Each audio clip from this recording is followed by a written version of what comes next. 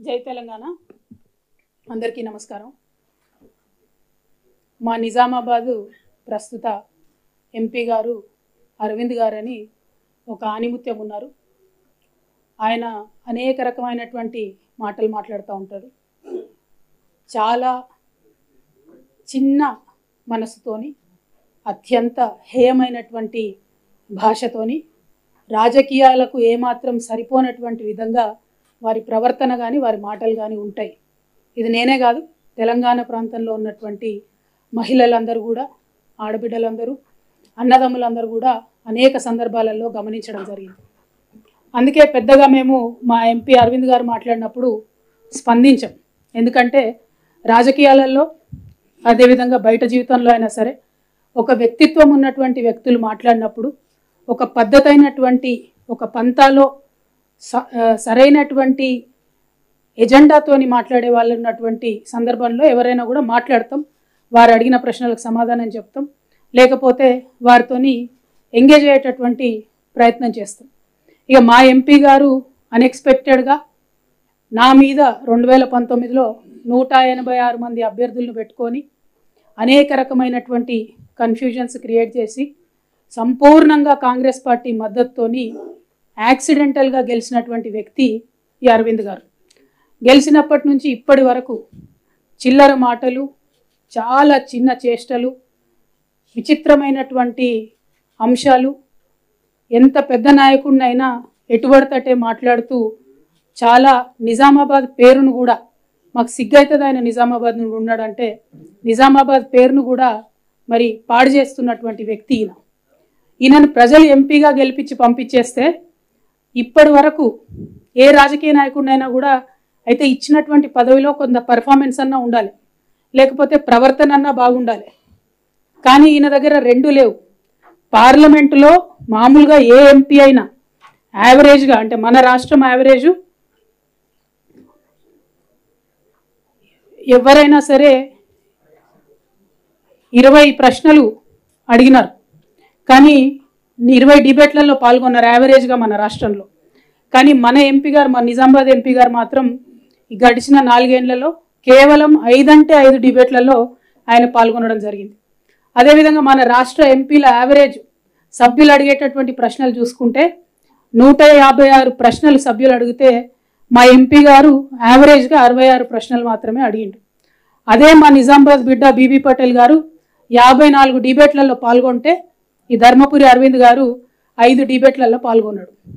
పార్లమెంట్లో మా కొత్త ప్రభాకర్ రెడ్డి అన్న గారు మ్యాక్సిమంగా రెండు వందల అరవై ఏడు ప్రశ్నలు వేస్తే మా ఎంపీ ధర్మపురి అరవింద్ గారు అరవై ఆరు ప్రశ్నలు వేసి అంటే పార్లమెంట్లో పర్ఫార్మెన్స్ సున్నా. తెలంగాణకు రావాల్సినటువంటి అంశాల మీద ఏ ఒక్క నాడు కూడా నోరెత్తి మాట్లాడింది లేదు. ఏ ఒక్క విషయంలో కూడా ప్రశ్నించినటువంటి పాపన పోలేదు. అదేవిధంగా ఎన్నికలలో నూట ఎనభై ఆరు అభ్యర్థుల్ని పెట్టడమే కాకుండా ఇప్పుడు ఆ నూట ఎనభై ఆరు అభ్యర్థులందరినీ కూడా అఫీషియల్గా బీజేపీలో చేర్చుకోవడమే కాకుండా ఇగో ఇట్లా బాండ్ పేపర్ ఒకటి రాసిచ్చిండు ఆయన. బాండ్ పేపర్ రాసిచ్చి మోసం చేసి మరి గెలవడం జరిగింది ఆయన. ఇక ఇప్పుడు మా పసుపు రైతులందరూ ఏమంటున్నారంటే బాండ్ పేపర్ రాసిచ్చి మోసం చేసిండు కాబట్టి ఈ బాండ్ పేపర్ మీద అక్క మరి మేమందరము చీటింగ్ కేసులు పెడతామని అంటున్నారు. ఇక రేపటి నుంచో ఎల్లుండి నుంచో పసుపు రైతులు ఎక్కడుంటే అక్కడ ఖచ్చితంగా ఆయన మీద చీటింగ్ కేసులు పెట్టడం కూడా జరుగుతుందని ఈ సందర్భంగా మీ అందరికి తెలియజేస్తాం.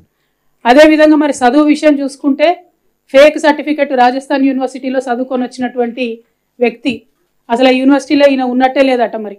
దీని మీద కూడా ఎంక్వైరీ చేయవలసిందిగా నేను ఆయన మీద మరి ఒక అభ్యర్థిగా పోటీ చేసి ఉన్నాను కాబట్టి నేనే ఎలక్షన్ కమిషన్ కూడా ఈ విషయంలో ఫిర్యాదు చేయబోతా ఉన్నాను అని చెప్పి ఈ సందర్భంగా నేను తెలియజేస్తాను ఎందుకు ఈ మాటలు చెప్తా ఉన్నా అంటే ప్రజా జీవితంలో ఉన్నప్పుడు నీతి నిజాయితీ ఒక పద్ధతి ప్రజలకు అంతో ఇంతో సేవ చేయాలనేటటువంటి ఒక ఆసక్తి ఉండాలి. కానీ అవన్నీ పక్కన పెట్టి నిన్న ఆయన ప్రెస్ మీట్ పెట్టిండు నిజామాబాద్లో పెట్టి ఏం చేస్తారు? కేసీఆర్ గారిని అనరాని మాటలు అంటున్నాడు. ఎన్ని రకాల మాటలు అనాలో అని అన్నాడు. ఒక ఆడబిడ్డగా నిజంగా అందులో ఉన్న కొన్ని మాటలు విని బాధ అనిపించి అసలు మనకి ఇంత దరిద్రమైన రాజకీయం అవసరమా తెలంగాణలో? ఇంత చెత్త మనుషులు అవసరమా? ఇంత చెత్త ఆరోపణలు అవసరమా? అని ఒక బాధతోని వాళ్ళు నేను ప్రెస్ మీట్ పెడుతున్నా. మా ఎంపీ అరవింద్ గారు బురదలు అంటాడు. ఆయన మీద రాయేస్తే ఇగో తెల్లటి మన బట్టలే పాడైతే అందుకే మేము ఎవరం పెద్దగా నేను పట్టించుకొని మాట్లాడం అంతేగాని ఆయన ఏదో పెద్ద వీరుడో శూరుడో అని కాదు. అటువంటి బురద మీద రాళ్ళేయొద్దని చెప్పి ఇన్ని రోజులు ఆగినాం. కానీ నిన్న ఆయన ఒక మాట మాట్లాడిండు. నేనట కాంగ్రెస్ పార్టీ ఖర్గే గారితో మాట్లాడి కాంగ్రెస్ పార్టీలోకి పోతానట ఆయన కలవడ్డదో మరి ఎవడు చెప్పిండు ఆయన ఏమంటుండు? ఎవడో కాంగ్రెస్ సెక్రటరీ చెప్పిండట. అంటే ఏంది విషయం? నువ్వే వాళ్ళతో టచ్లో ఉన్నావు నేను లేను. నీకేం పని కాంగ్రెస్ సెక్రటరీతో నువ్వు బీజేపీలో ఉన్నావు కదా ఎంపీ. నీకేం పని? కాంగ్రెస్ సెక్రటరీ నీకెందుకు చెప్తాడు? నువ్వు నా మీద ఎట్లా చెప్తాడు ఆయన నీకు? అంటే నువ్వు ఎన్నికలలో వాళ్ళకి పైసలు ఇచ్చినావు కాబట్టి ఎన్నికలలో కాంగ్రెస్ పార్టీ నువ్వు కలిసి పనిచేసిరు కాబట్టి నిజామాబాద్ జిల్లాలో ఏ చిన్న నాయకుడిని అడిగినా చెప్తారు. కంప్లీట్లీ సరెండర్డ్ కాంగ్రెస్ పార్టీ అక్కడ ఎన్నికలలో. కాబట్టే ఇవాళ అరవింద్ అనేటోడు ఇవాళ పార్లమెంట్కి పోయాడు. మా నిజామాబాద్ ప్రజల కర్మ దురదృష్టం మన తెలంగాణ ప్రజల దురదృష్టం. నేను ఇవాళ ఒకటే మాట చెప్తా ఉన్నా. కాంగ్రెస్ పార్టీ కాదు ఇంకో పార్టీ కాదు. నా బతుకు నా పుట్టుక తెలంగాణ. తెలంగాణ పేరు లేని తెలంగాణ వాసన లేని పార్టీలతో నాకేం సంబంధం ఉంటుంది నాకెందుకు ఉంటుంది? ఇటువంటి పిచ్చి పిచ్చి మాటలు మాట్లాడి ప్రజల మీద ఏదో కన్ఫ్యూజన్ క్రియేట్ చేయాలి నా మీద ఏదో అబండాలు వేయాలని చెప్పి ఎంపీ అరవింద్ ప్రయత్నం చేస్తే నేను ఇంతవరకు రెండు వేల ఆరులో నేను ఇంట్లోకి వెళ్ళి బయటకు వచ్చి ప్రజా జీవితంలోకి వచ్చిన అంటే రెండు వేల ఆరు నుంచి రెండు వేల ఇరవై ఇరవై రెండు వరకు ఏ ఒక్క వ్యక్తిని కూడా నేను పర్సనల్గా తిట్టలేదు. ఎప్పుడు ఇష్యూ మీదనే మాట్లాడాను నేను. చాలాసార్లు విలేకరులు మిత్రులు అడుగుతారు కొద్దిగా టెంప్టింగ్ అక్క ఇట్లా మాట్లాడు అట్లా మాట్లాడాలి. నేను ఒకటే చెప్పిన ఇష్యూ మీద మాట్లాడతా బ్రదర్ నేను వ్యక్తుల మీద మాట్లాడాలి. కానీ వాళ్ళ వ్యక్తి మీద వ్యక్తిగతంగా చెప్తున్నా నేను. అరవింద్ గుర్తుపెట్టుకో ఇంకోసారి నా గురించి పిచ్చి పిచ్చిగా మాట్లాడితే నిజామాబాద్ చౌరస్తాలో చెప్పుతో కొడతా మామూలు కూడా కాదు. తమాషాలు అవుతున్నాయా? చూస్తూ ఊరుకుంటుంటే భాష లేదు పద్ధతి లేదు మాట లేదు మంతి లేదు. కేసీఆర్ గారు గౌరవం లేదు ఇంకోరు లేదు ఇంకోరు లేదు. ఏం చేసినావు? నీ కాంట్రిబ్యూషన్ ఏముంది తెలంగాణకి? ఎందుకోసం మాట్లాడుతున్నావు ఇట్లా? ఎవరి మీద పడితే వాళ్ళ మీద ఎంత పడితే అంత మాట మాట్లాడితే చూస్తూ ఊరుకుంటాం అనుకుంటున్నావా? బిడ్డ చెప్తున్నా ఎక్కడికి పోతావో ఎన్నికలలో ఎంటబడి ఓడిస్తా నిన్ను.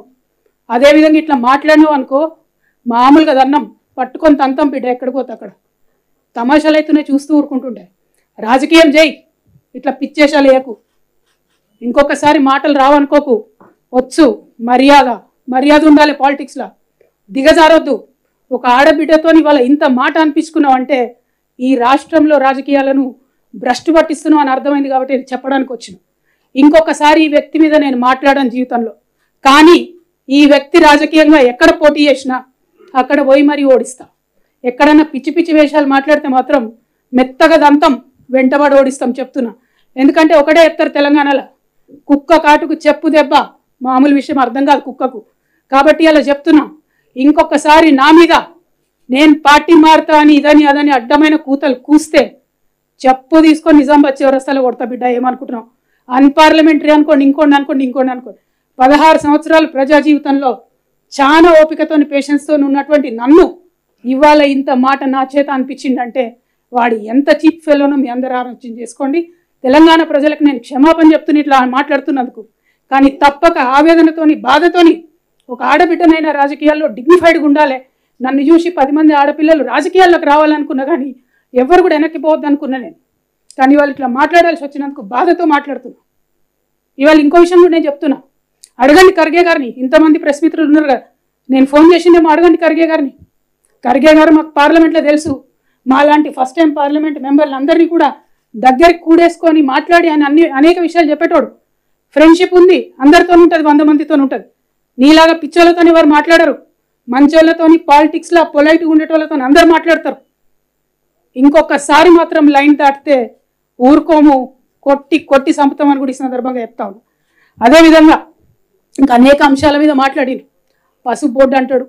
నేను ఇవాళ ఒక మాట అడుగుతా ఉన్నాను పసుపు బోర్డు ఇస్తా అని బాండ్ పేపర్ రాసిచ్చు పసుపు బోర్డు రాకపోయే? అది అబద్ధమా? కాదు. ఇవాళ నువ్వు చేయాల్సింది రాజకీయాల్లో ఉన్నటువంటి వాడి పసుపు రైతుల కాళ్ళు పట్టుకొని క్షమాపణ కోరి తిరగాలే తప్పితే సిగ్గు లేకుండా బోర్డు కన్నా ఇంకోటి తెచ్చినా ఇంకోటి తెచ్చినా అంటున్నాం మా నిజామాబాద్లో ఒక రైతు ఉంటాడు మనోహర్ రెడ్డి గారు అని.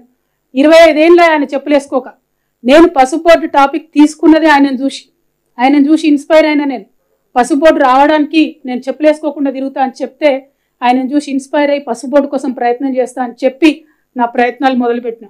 కానీ ఈయన ఎందుకోసం మొదలుపెట్టిండో తెలియదు పాప మా మనోహర్ రెడ్డి అదే జాగరణ్ మంచో బిగరన్ మంచో మొత్తం అది బీజేపీ ఆర్గనైజేషన్. కానీ అక్కడ కూడా ఆయనకి ఏమాత్రం గౌరవం దొక్ దొక్కలేదు నేను ఇవాళ కోరేది ఒకటే మనోహర్ రెడ్డి లాంటి రైతుల కాళ్ళు పట్టుకొని క్షమాపణ అడిగి నువ్వు తిరుగు. రాజకీయాల్లో ఉంటే నీతి నిజాయితీ కొంతన మర్యాద ఉండాలి. కనీసం ఇంగిత జ్ఞానం ఉండాలి. ఆ విషయం మీద ఆలోచన చేయవలసిందిగా నేను ప్రజలందరినీ కూడా కోరుతూ ఇంత నిజాతి నీచమైనటువంటి వ్యక్- వ్యక్తి మీద ఆయన కోసం దిగొచ్చి ప్రెస్ మీట్ పెట్టాల్సి వచ్చినందుకు ప్రెస్ మిత్రుల సమయం కూడా వృధా చేసినందుకు మీకు కూడా నేను క్షమాపణ చెప్తున్నా. కాకపోతే తప్పలేదు తప్పనిసరి పరిస్థితుల్లో చెప్తున్నా ఇంకొక మాటు ప్రెస్ అనేది ఈ వ్యక్తి మీద నేను పెట్టను. కానీ పొలిటికల్గా ఎక్కడ పోయినా వెంటాడి వెంటాడి ఓడిస్తాను మాత్రం ఈ సందర్భంగా తెలియజేస్తూ మళ్ళొకసారి ఇక్కడికి వచ్చిన బీజేపీ మిత్రులందరికీ కూడా మనస్ఫూర్తిగా ధన్యవాదాలు తెలియజేస్తాం.